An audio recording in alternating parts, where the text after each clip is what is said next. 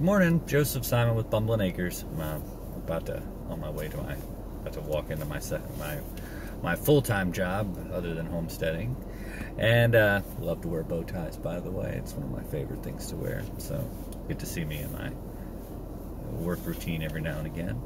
But wanted to touch base with you guys and talk about um, kind of the three things that are on my mind this morning: homesteading, insecurities, and vulnerability.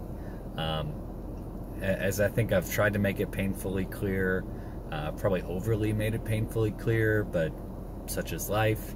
Um, I'm, I'm, learning as I'm learning this for many many of these experiences are first time experiences for me. Um, you know, uh, picking things out of a garden that's pretty much first time for me. My grandpa ran a garden. Um, I had zero practical knowledge of running a garden. Um, raising chickens, zero practical effect of raising chickens. And um, I, I, had zero practical effects of what it was like to live on a on, on any kind of sized property. Um, I had never. I'd lived in a Marine Corps barracks. I've lived in a couple of apartments. I've, I've rented a you know room in a house before, but I'd never lived on a four and four four plus acre property before. So land management and kind of things of those natures. That's a first um, organizing my tools and organizing everything so that it's effectively stored so that my fiance and son can hide them everywhere after they use them. You know, the fun parts of, of life. But what I wanted to, you know, um, insecurities and vulnerabilities are a part of, or at least have been a part of this life for me putting yourself into situations that you are not comfortable with or you have no experience of are going to force you to come face to face with some realities and some real things and some difficult situations. This is all brought on by the fact is, you know, we expanded our chicken flock. Um, we had an opportunity, somebody, we were able to get 14 baby chicks, um, no charge, so no one took them. We set up our brooding area, we set it up in a different area uh, than we have before and we've lost more than half of our baby chicks so far. And you know, um, I think there's this mentality that if you're working the land and you're producing, that you're supposed to be this heartless, like the you know industrial ag person. Like these are just whatever they are. They're just food. You don't you don't have any responsibility to treat. Like I think that's bonkers. Um, I mean, make no mistake, they are producing. They they are food producers for me. Um, you know, these are chickens that will lay eggs. Uh, next year, we're going to add chickens that will be meat.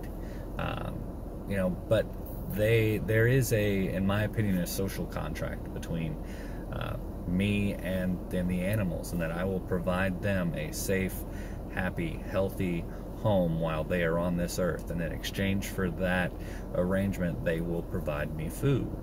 Um, I live up to my end of the bargain, they live up to their end of the bargain. Uh, and that's that's a symbiotic relationship between the two. It's not a predator prey. I invest in them, they provide for me. Uh, but part of the difficult thing is when you've got situations, especially with chicks.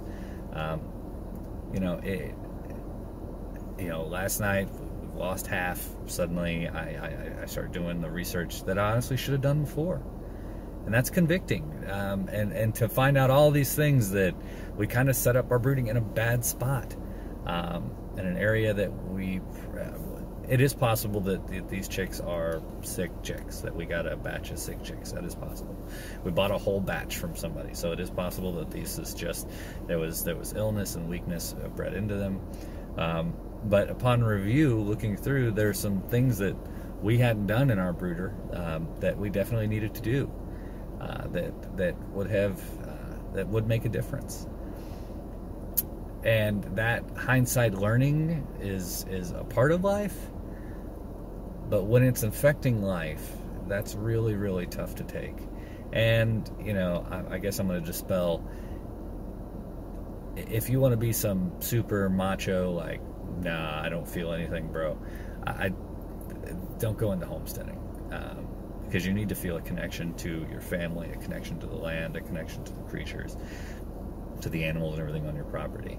If you just want to be some douche canoe person who doesn't have a connection with anyone, probably shouldn't be responsible for producing food or whatever. But um, kind of tangent off, excuse me.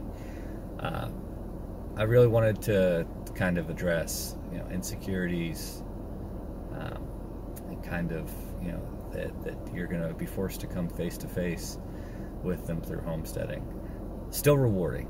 Still wouldn't change it. Can't wait to get home, move some more wood chips. I swear my job is pretty much a shoveler. Should if I had a business card, say shoveler, a mover of things, because that's what we're doing. We're setting up everything still, and I feel like we're going to be in setup forever. Um, but still worth it. But you should be prepared for having to come face to face with your own vulnerabilities, your own insecurities.